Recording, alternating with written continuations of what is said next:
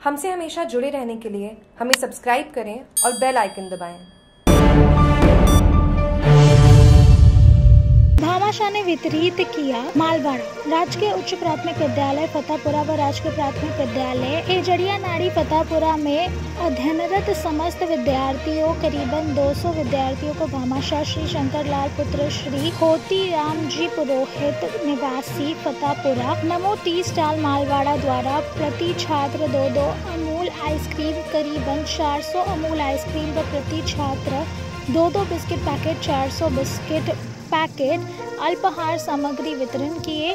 राउपरावी फतापुरा में आठ बड़े डस्टबिन, आठ झाड़ू व रापरावी खेजड़िया, नाड़ी, फतापुरा को दो बड़े डस्टबिन, दो झाड़ू दिए। विद्यालय की सर्वश्रेष्ठ चार छात्राओं को दो हज़ार रूपए नगद पुरस्कार वितरण किए। फतेहपुरा गौ सेवा समिति फतेहपुरा ग्यारह हज़ार रूपए नगद राशि गौ सेवा समिति फतेहपुरा को नगद दी। इस अवसर पर श्री प्रदीप सिंह देवल, सरपंच मालवाड़ा, उप सरपंच प्रतिनिधि श्री ताराराम माली, सेवानिवृत्त जिला शिक्षा अधिकारी जालौर, श्री पुखराज जी नगर सेवानिवृत्त अधिशासी अभियंता, जिला परिषद जालौर, श्री लाभ चंद जी नगर समाज सेवी श्री पीरा राम सुंदेशा, किरण कुमार सुंदेशा सेवानिवृत्त कृषि अधिकारी श्री तदाराम जी नगर, एसएमसी अध्यक्ष श्री तेजाराम पुरोहित, राउप रावी फतापुरा के प्रधान अध्यापक श्री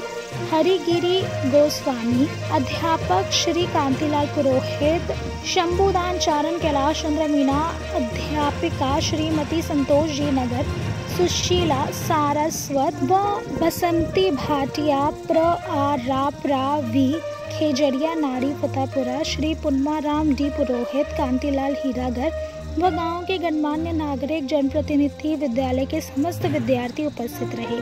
मामा श्री शंकरलाल पुत्र श्री होती राम जी पुरोहित फतापुरा का विधायक परिवार की ओर से बहुत बहुत आभार। बहुत बहुत बधाई और भामाशाह परिवार के उज्जवल भविष्य की बहुत बहुत हार्दिक शुभकामनाएँ। जागरूक टीवी की मालवाड़ा से खास रिपोर्ट।